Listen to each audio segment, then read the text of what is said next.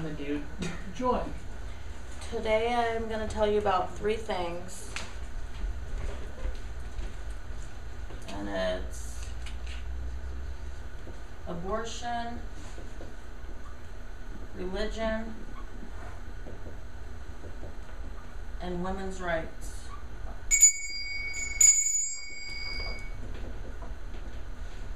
and why they're important. Um, death, life, religion, and choice. These are controversies in abortion today and what people talk about, argue about, or have fear about talking about. Um,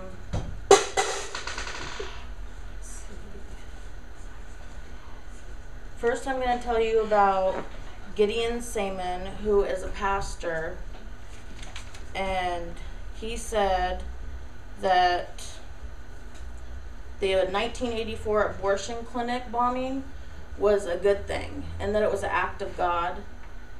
And I don't agree with that because they I don't think you should go out and just bomb a clinic and just because you don't agree with what they're doing. I think every everybody has a choice and I think that him saying that made him kind of well, a moron to me. That's my opinion. Um, I got, I got that information from ProQuest, and his exact words are only God can desi- decide what is wrong or right. And the, the 1984 abortion clinic bombing was an act from God. Well, I totally disagree. My next person that I looked up on ProQuest as a quote, a site that I looked up, was Dorothy McBride. And she's a woman's activist and her quote that I, I like was Do not let others be your voice. Women should be heard and have a choice. Do not let others who have not walked in your shoes be your voice. And I agree to that. And the third person I looked up that had a site was Ruben Ether. And it was the abortion controversy. And she's the one that's saying pro-life and pro-choice is a big controversy in our nation today and she states a little bit of how it's negative and how it's positive. positive and so i'm going to tell you a little bit about the speech i chose and that's by sophia williams she actually attended our class a few um, few months ago a few quarters ago and she talked about abortion and i saw her speech online and it got to me i agreed with a lot of stuff that she said her favorite quote was She used to be pro life, and due to certain circumstances, she now understands why pro choice is a big thing in America. And now she feels that she is the gray area in between. And I kind of feel like that too. So I'm going to start you off with these are the facts of women that get pregnant, women that terminate, women that miscarry, women that choose to have babies. And this is what a baby looks like in the womb. And it and it gets you know, they turn into a baby, but this is from I believe this is eight weeks pregnant. And seventy six percent of people that have abortions usually get pregnant between 8 and 12 weeks or get abortions between 8 and 12 weeks. And so this is what it would look like. To me it looks like an egg with a start of a baby forming inside of it. There's a big controversy with this.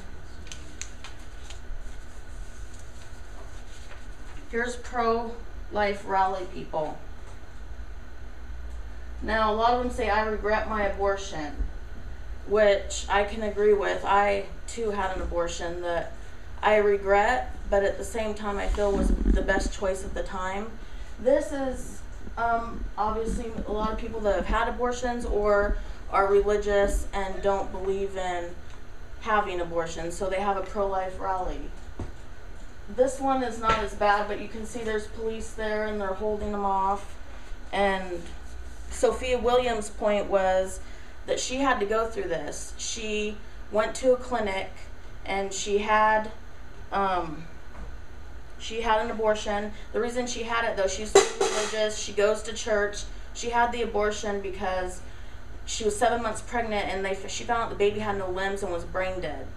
And so she chose instead of having a vegetated baby to have an abortion. And it was the hardest thing she said she ever had to do in her life. And I can relate to that. And that's why there's a big gray area in between. And this is where she describes her horrible incident that's going to haunt her for the rest of her life. These are also pro life activists, so it can go in a negative way too.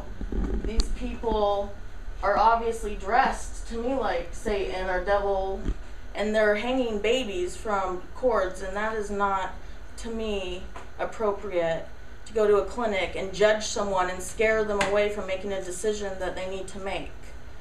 I think that she's right when she says that she's going to be scared the rest of her life from that because I had something similar happen to me.